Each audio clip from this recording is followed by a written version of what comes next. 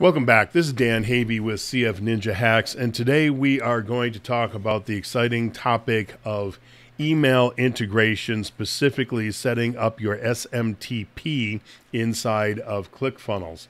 Now, at this point here, you might say to yourself, I don't need SMTP, but you might. So at least watch the first five ten minutes of this video just to see whether you need it or not and the very simple way it can be set up if you decide you want to use it.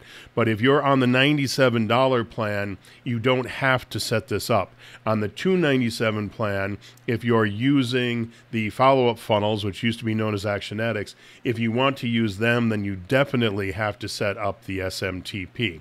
So what SMTP is, it stands for Simple Mail Transfer Protocol, which basically means it's a computer program that is essentially the mailman. So when you generate an email, inside of ClickFunnels, whether it's like in the automation tab, whether it's in the products, or if it's coming out of a follow up funnel or a broadcast or anything like that, when you generate an email in there, it is then picked up by the SMTP, which in our case here we're going to use SendGrid.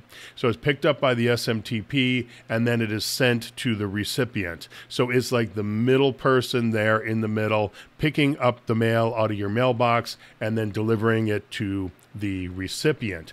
So, what are some cases where you would use the SMTP or want to set up the SMTP if you're on the $97 plan? Well, let's go into a funnel real quick. And we want to go to one in particular here with a product in it because you wouldn't need one with a product. It could be an opt in page, it could be any number of things. But you want to come up here to the automation tab because there's a couple of different things you can do. You can set an action. So let's just click on set an action first. And you would give your action a name. You could give it a condition here as well. So it'd be everyone who came to this page, everyone who came to this page saw the page but didn't purchase, and then everyone that purchased. And based upon these three conditions, you can add them to a list. You can remove them from a list you can send yourself an email, you can add a tag, or you can remove a tag. So the first two, add to a list and remove from a list, that would only work for somebody on the 297 plan. The other three could be somebody on the $97 plan. And then if you're adding them to a list, you would click on this and put in the list right there. But the other thing, and why you would need your SMTP set up properly, is we can add a new email. So even on the $97 plan, you can come in here and you can send somebody an email based upon those same conditions we had before. So everybody who landed on this page could get an email or if they purchased or didn't purchase, they could get an email as well. And now down here in the bottom, you can see you got a bunch of templates. Now, this would only show for somebody on the 297 plan. If you're on the $97 plan, you're going to have an editor pop up right down here where you can create the email and I will show you that same editor because it's the same one that's in the products tab in a minute. So you can set up a delay on it. You can put in your subject line, pick out your SMTP right here and the whole thing. So there's one case where you might want to um, set up the SMTP if you're on the $97 plan so that if somebody even like opts opts into your page or they sign up for a webinar or they do anything else, it can automatically trigger an email out of here to be sent to them. So let's close this and then let's go into our products. And we'll just edit one of our products here because we're not talking about setting up the products today. And we're going to come over here to our fulfillment email. And we can say here we want to enable a fulfillment email. So when somebody purchases the product, you can automatically fire off an email to them. So here's the editor that you would have seen on the other page as well if you're on the $97 plan. So you put in your subject line, your body, and then down here, you can, if you choose to, you can take this code right here, you can copy it, you can put it anywhere inside of this page. And if you do that, whatever you choose down here in this drop down for your different pages, thank you page or membership page, you can pick one down here and you can say, okay, well, I want them to go to this page right here, this thank you page right here. I want them to go there um, as soon as they get this email. So they get the email, they click on what will become a link here. and then they will go off to that thank you page. So you can put that right in here. And then just to follow up with one other thing here, you also have your follow up actions. Just like I showed you, you can set an action in in the uh, in the tab there in the automation tab you can do the same thing here. So as soon as somebody signs up let's say your you got your um, integration with mailchimp you can come in here and you can add or remove them from a list in mailchimp or inside of clickfunnels. Again you can add them to a list remove them send an email notification add a tag remove a tag or even unsubscribe the contact. Right there that's it. If you're on the $97 plan those two places you can automatically send out an email. Of course you can do it on the 297 plan too. But on the one on the $97 plan you could automatically send out emails upon a purchase or if somebody opts in or buys a product or even lands on a product page. So now let's go back in here and I'll show you how to set this up first if you're on the $97 plan and then I will go into the 297 plan. So here all you have to do is transactional only. It's a very quick setup, whereas transactional and marketing is much more uh, complex and intense. So if you're on the $97 plan, there's really no reason to set up the other. So I'm just going to put in here a title of test. I'm going to put in my name of Dan. I'm just going to do this here real quickly. Put in an email address. We're going to pick a domain name. We make sure we set our country code. So we will scroll down here and find the United States. Oh, Vietnam sounds like a good enough country for today. And then we will save our SMTP integration. And you should really put in an SMTP footer. And I will pull that up here in a second. And what you're going to do is you're going to get to this page right here, and it's going to refresh itself a number of times. And then eventually we should come up with a result. And while that's pulling up, I went into ClickFunnels Help Docs and I came down here to the SMTP footer. And so here's the code that they recommend you put in there. And let me just copy it out and then we will go back into the editor once it's done and I'll just drop it in there so you can take a look at what it looks like. All right, so then like I said, it reloaded a few times and now it says congratulations, view your mail configurations. So let's just click on the three dots here and go back into our settings and we'll scroll all the way down to the bottom and we will paste in that SMTP footer that they suggest. Now I have one that's a lot more complex than this, but this is good enough. And the most important part here is this unsub part here. So the ahref equals the unsub. You want to make sure you have that in there so that does create the unsubscribe link. So anybody who gets this email can simply click on the bottom and unsubscribe. So we will save that once again. So now if you're on the $97 plan, you're pretty much done. You can stop watching at this point because next we're going to go through and show how to set it up if you're on the 297 plan. So for the 297 plan, we're going to use SendGrid. So they've made a number of changes just recently in SendGrid where they're making people use what they call their API. So what we're going to do now is we're going to go first off into SendGrid and start there. So we're going to come over here and start for free. Obviously, if you have an existing account, you could just go into your account. You may already have the API set up because they've been pushing everybody towards that over the last month or so. So I'm just going to put in an email address here and give it a password and that password must have at least 16 characters in it. And we will check all the boxes and we will create a new account. And then we need to fill out all this information, so I'll pause and do that real quickly. And click on Get Started. And this should pop up the first time you come in here. And what we want to do is click on this right here, create a single sender. And we'll put in all of our information again and click on Create. But now that we have this set up, we're going to go back into ClickFunnels. Now, along the way here somewhere, probably the next time I log back in, they're going to ask me to set up two-factor authentication for logging in. Make sure you do that. And my suggestion would be to use Authy if you do it. It's a it's an app you can have on your phone, and what the what you do is once once you go to do your two uh, two step authentication, you just go to the app, you go to where it will say SendGrid on there, and you type in the six digit number you see on your phone, and it works really slick. So let me go back into ClickFunnels here, and we are now going to add an email integration. and we're going to put in our transactional and marketing. And again, here we're just going to do this as a, we're going to call this test demo. We're going to put in my from name and my from email. And now here we're going to put in our SMTP server, SMTP port, and our little bit more information. So where we're going to get that from is again, we can go back into ClickFunnels and all that information should be in here somewhere. Here we go. So our our server is this. We'll just copy that out. Oops, wrong page. So we'll put that in there. So smtp.sendgrid.net. The port is 587.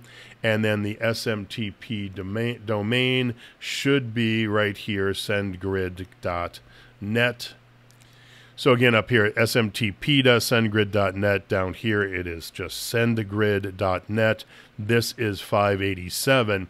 And now, because of a recent change made to SendGrid, when you come in here the next time, it may not say SMTP user here. This may not even show at all. And this over here may say put in your API key or something like that, because that's what we have to put in here.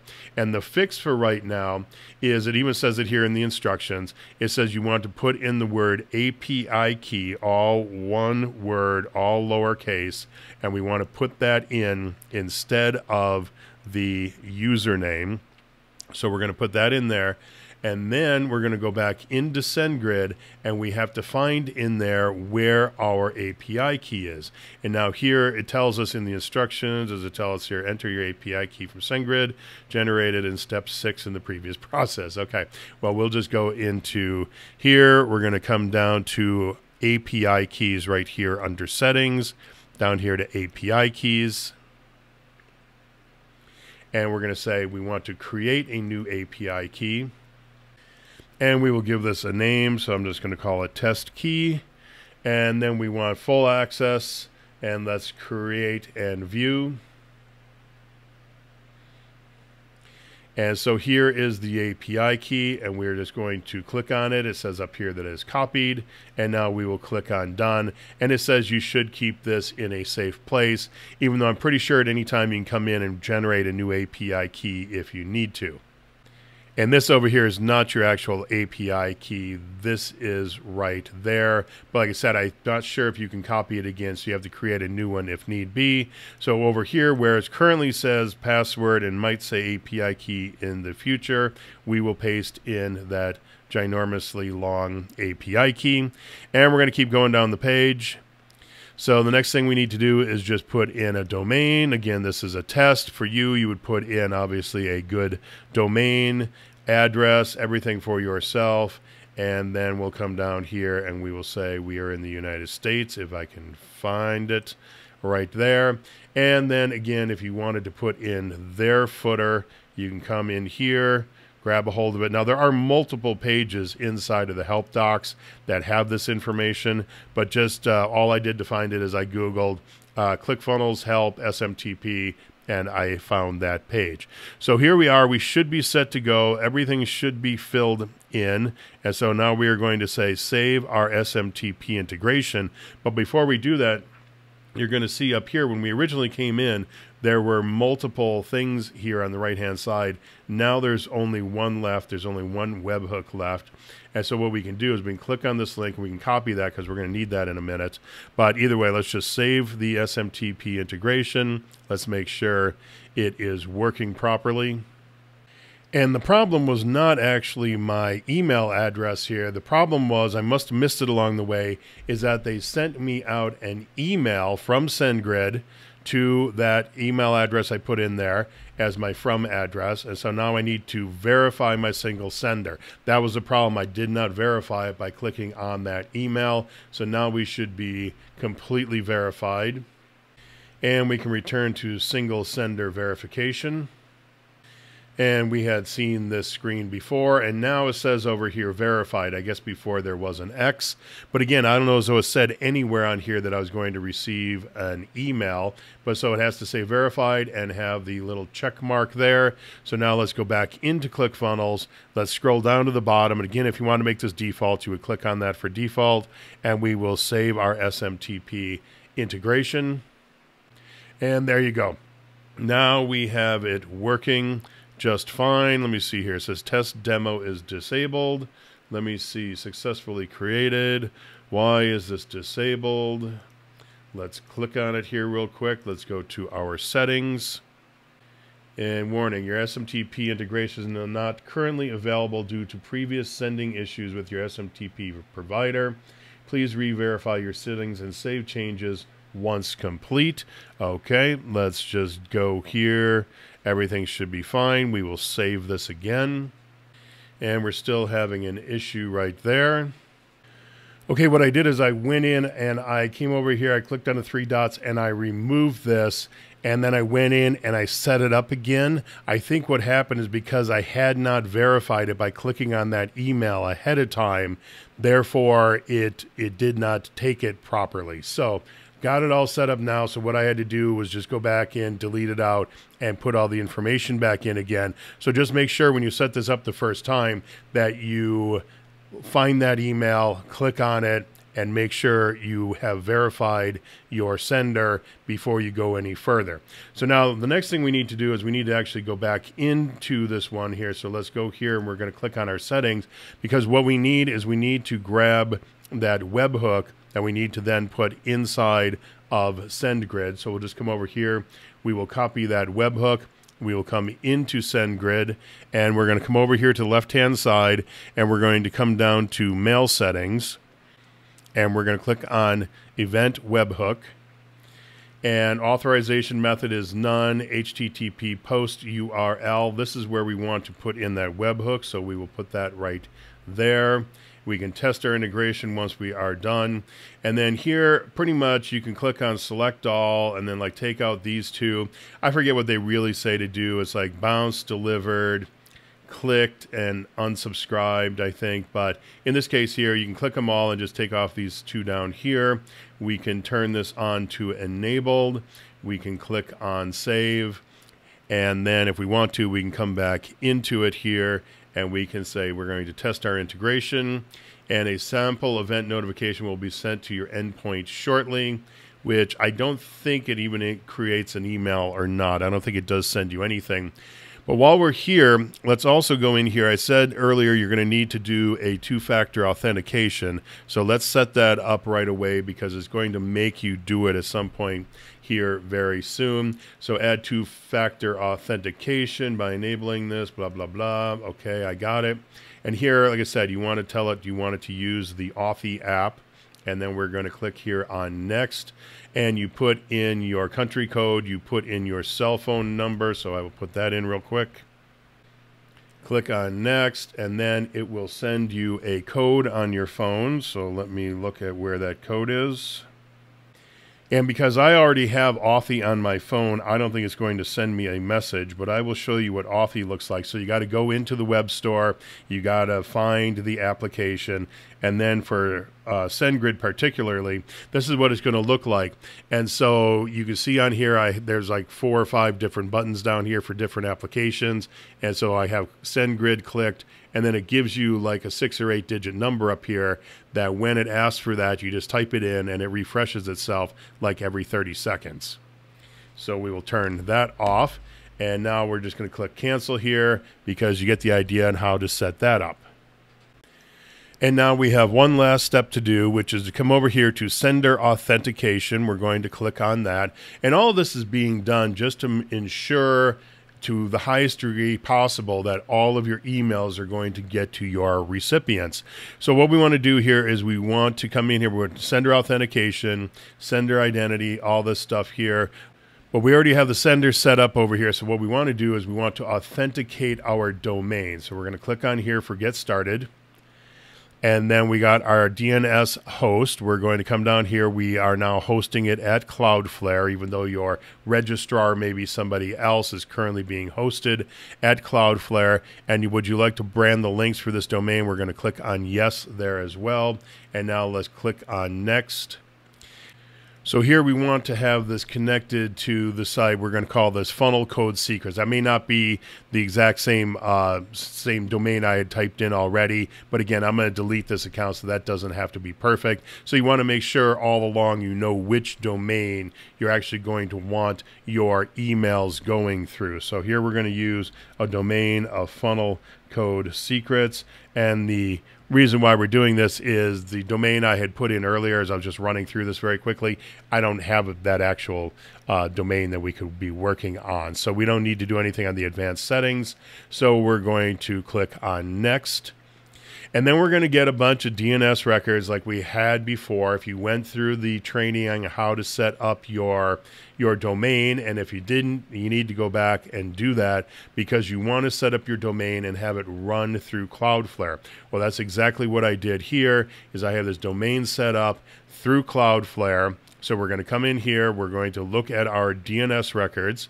Going to click the third box over here, go to our DNS records, because we need to take some of the records that we're looking at on this page and put them over here into Cloudflare.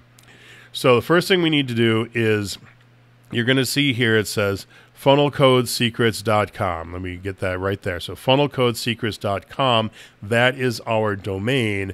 And this URL 1684 is essentially a subdomain. So we want to just copy off that first bit before the period and go into Cloudflare and here we want to add a new record. And it says over here that all these are going to be CNAME records. So we're going to create a new CNAME record. We're going to come down, put that in there, paste in the URL 684, whatever. And then we're going to come back to SendGrid. And on the right hand side, you can copy the whole thing. On the left hand side, we're going to strip off the first bit. On the right hand side, you can copy the whole thing. So we'll come over here and we will paste that in and we will click on save. And we're going to go back and forth and do this again with every single one of these. We're going to copy that off, create another CNAME record, paste it in, go back to SendGrid, copy the second one, which was the same as the first one. And we're going to click on save this. And then again, Add a new CNAME. Back to SendGrid, copy. And all I'm doing every time is just clicking on save and leaving the proxy turned on. And we'll see how it works at the end because there used to be a glitch in how this worked and I think that's been cleaned up here. So, so here it is. We got this error code down here at the bottom. This kind of record cannot be proxied. Okay, so we're going to have to turn that one off, and we're going to click on Save. So expect to see that error come up at the bottom on a couple of these.